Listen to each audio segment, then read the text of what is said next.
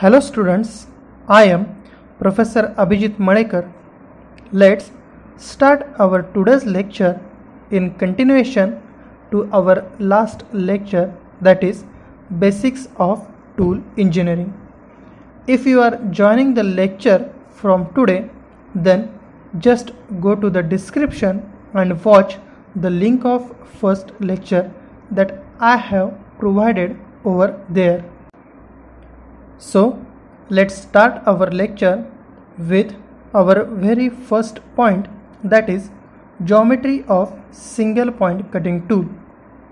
As you see in the video, the figure shows a diagram of single point cutting tool. As you see in the figure, it has various angles and we are going to define these angles in further video. Let's start with shank. It is the body of tool and it is used to hold the tool. So we can define this as it is the part of tool which goes into the tool holder. Move on to next that is flank. It is the surface below and adjacent to the cutting edge. There are two flank surfaces that is major flank and minor flank. So our next part is base. We can define this as the bottom surface of shank. The next one is face. The name itself says that it is the top portion of tool along which the chips are slides. The next part of tool is cutting edge. It is simply a edge which cuts or removes the material from workpiece. The tool has provided two cutting edges which are side cutting edge we can define this as top edge of major flank and another is end cutting edge. We can define this as top edge of minor flank.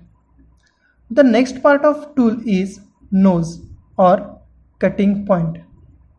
It is the point at which the two cutting edges that is major and minor cutting edges going to intersect each other and the radius of the nose is known as nose radius.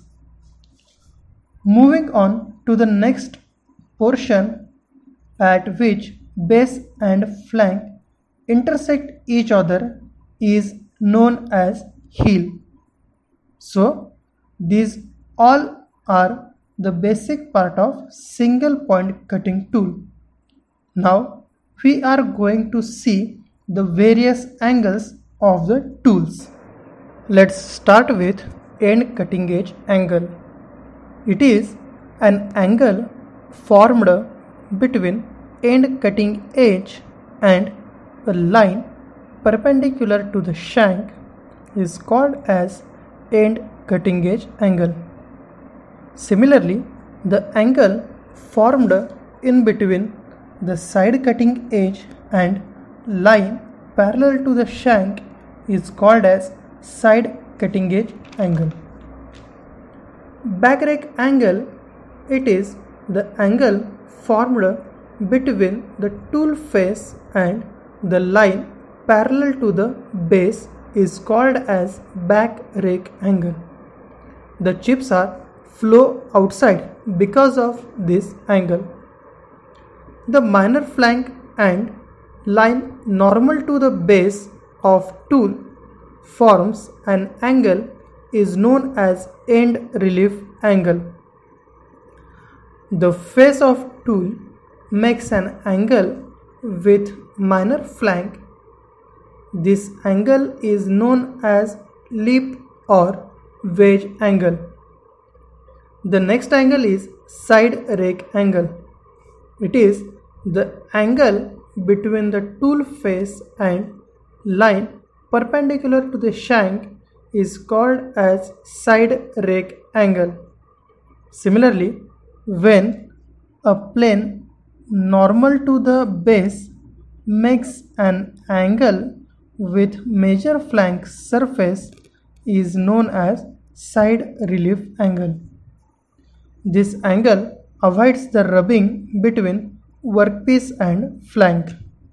So, these are all the angles as we discussed now as shown in video.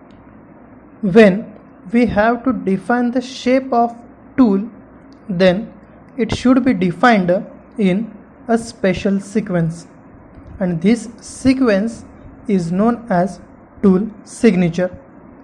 The sequence is as shown in video and the standard values of this sequence is as shown in video.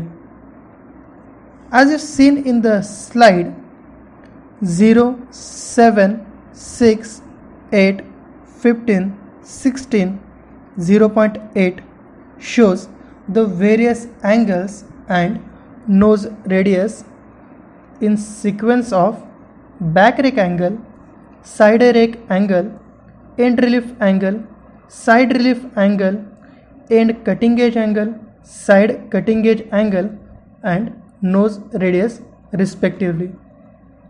After the cutting tool geometry, we are going to see the methods of machining. In this, there are mainly two types of metal cutting. First one is orthogonal cutting and another is oblique cutting. Let's see the orthogonal cutting. In this type of cutting, the tool remains normal to the direction of tool feed. In this type of cutting, only two components of forces acting that is cutting force and thrust force. So, this is also known as two-dimensional cutting.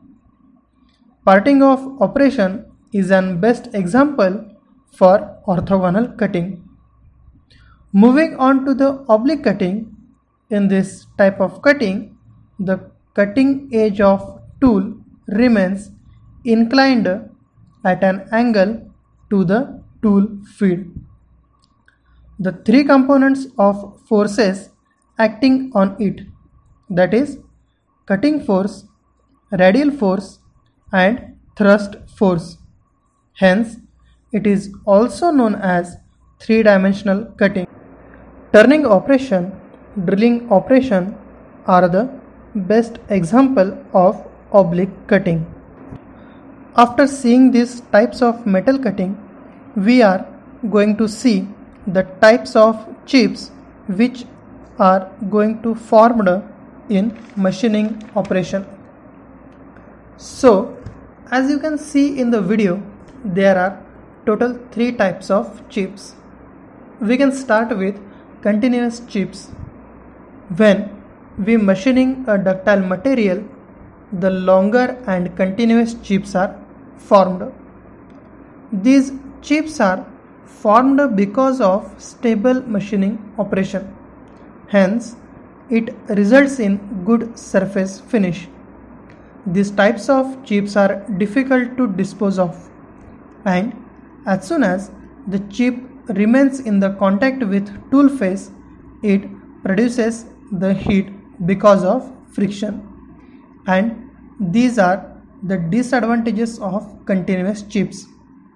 There are some conditions because of which continuous chips are formed and the conditions are small chip thickness, high cutting speed large rake angle etc. So let's move on to the next that is discontinuous chips. These types of chips are usually formed in ductile material.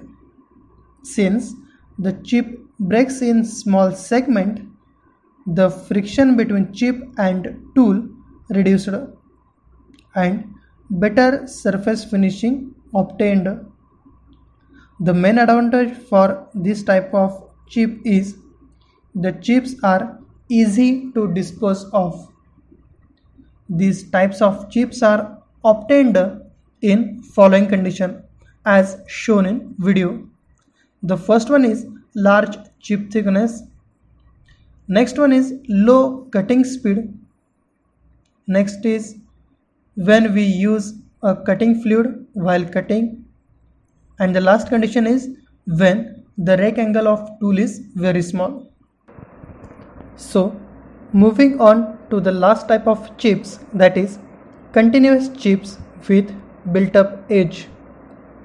In simple way we can explain these chips as while cutting operation is performed the chip and tool face experiences a friction. Because of this friction heat is produced and the chip gets attached to the tool for a small time.